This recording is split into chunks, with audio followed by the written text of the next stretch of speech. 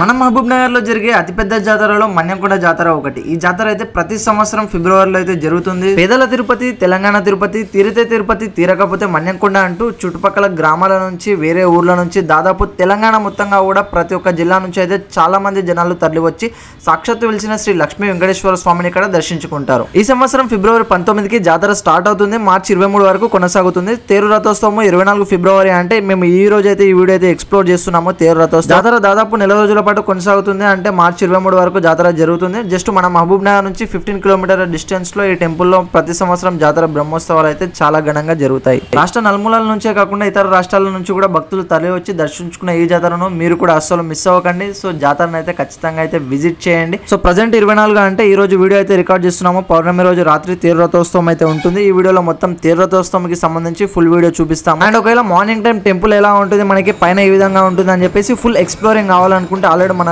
ఛానల్లో అయితే previous video ఉంది. అండ్ ఈ ఇయర్ కూడా కావాలనుకుంటే షూర్లీ మీరు అయితే కామెంట్ చేయండి. ఎక్కువ కామెంట్స్లో వస్తే డే టైం కూడా వెళ్ళేసి జాతరని అయితే మీకు చూపిస్తాము ఫుల్ వీడియో సో ఖచ్చితంగా వీడియోని అయితే లైక్ చేయండి. మీ ఫ్రెండ్స్ అండ్ ఫ్యామిలీ మెంబర్స్కి షేర్ చేసి వాళ్ళకు కూడా జాతరని అయితే చూపించండి. Thank you so much